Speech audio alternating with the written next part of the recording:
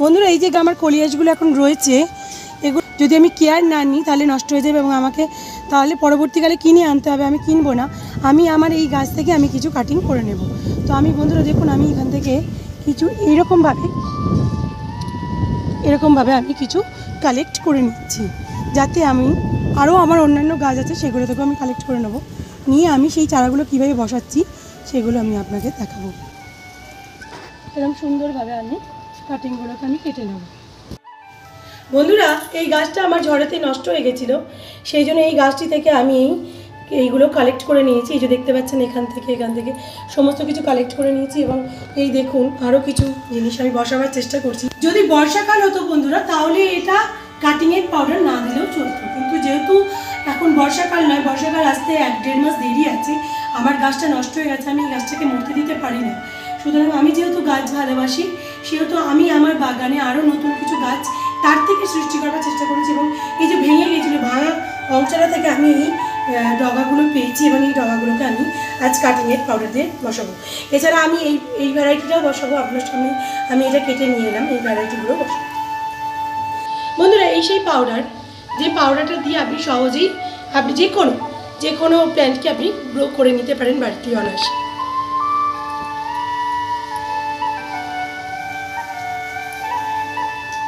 এর জন্য কিছু তার মানে সমান করে নেওয়ার দরকার আছে এবং এই এইরকমভাবে কাটবার দরকার আছে। নাইনটি ডিগ্রি অ্যাঙ্গেলে এই যে এরকম কাটবার দর- দরকার আছে এরকমভাবে। কেটে নিয়ে আমি জাস্ট এটাকে এই পাউডারের মধ্যে ডিপ করে দিলাম। আমি দেখুন পুরোপুরিভাবে পাউডারটি লেগে গেছে। এবার আমি কি করব? এই যে বালি মাটি মেশানো যে পাত্রটা তাতে আমি এখানে একটু আঙুলে আঙুলে দিয়ে একটা হোল করব। হোল করে আমি এটাকে জাস্ট এরকমভাবে হালকা করে চেপে দেব।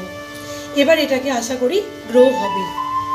আর বড় পাতাগুলিকে অবশ্যই ছিঁড়ে দেবেন, কারণ বড় পাতাগুলি এমনিতেও শুকিয়ে যাবে। এগুলো থাকবে না যে কোনো কাটিং বসানোর জন্য। এরকমভাবে পাতাগুলোকে ছেটে দেবেন বন্ধুরা। এতে গাছটি খুব ভালো করে গ্রো করবে। আর গাছটা ঝিমিয়ে পড়বে না। এতে দেখতে মানে আপনার যে যে মরে গেছে, গাছটা মরে যাচ্ছে, এরকম মনে হবে না। কারণ এই পাতাগুলো অলরেডি শুকিয়ে যেতে পারে সেই জন্য আমি কিছু কিছু পাতা কেটে দিলাম। আর এই গাছ বেশি খুব একটা শুকায় না, সেই জন্য কোনো চিন্তা নেই। এই দেখুন বন্ধুরা সেম প্রসেস আমি এই কাটিংয়ের পাউডার দিয়ে ডুবিয়ে নিলাম ডিপ করে নেওয়ার পর। আমি একটি জায়গাতে হোল করব। হোল করে জাস্ট এটাকে গ্রো করব এ থেকে আমি নতুন চারা গাছ পেয়ে যাব। সেম প্রসেসে আমি প্রত্যেকটি গাছ লাগিয়ে নেব।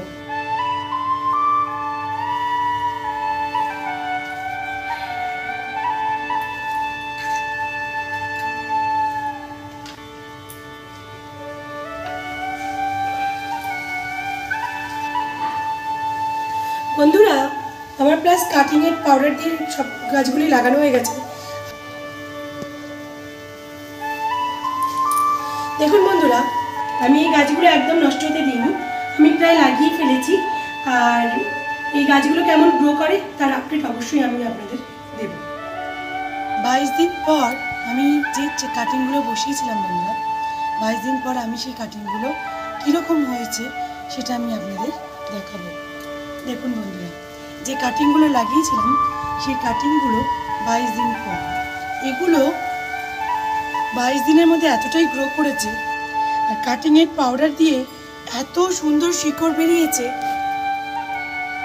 এই সেই মাদার প্ল্যান্ট যেগুলো থেকে আমি কাটিং বের করে নিয়েছিলাম, আর এই হচ্ছে আমার কাটিং বন্ধুরা, এই দেখুন, আমি এবার এটাকে তুলে নেব। কিরম হয়েছে আমি জানি না, তবে আমি তুলে নেওয়ার চেষ্টা করছি। অনেক শিকড় চারিয়ে গেছে, বুঝতে পারছি। দেখুন বন্ধুরা কীভাবে শিকড়টা চারিয়েছে আর এটাকে আমি এখন প্রতিস্থাপন করব। আপনাদের কোনো চারা চল্লিশ, পঞ্চাশ টাকা বা তিরিশ যার যেরাম নার্সারিতে যেরকম দাম কেনবার কোনো দরকার নেই। আপনারা একদম নিখরচায় সামান্য ওই কাটিংয়ের পাউডারের যে দাম, নিখরচায় আপনারা এরকম বাড়িতে সুন্দর এরকম চারা তৈরি করে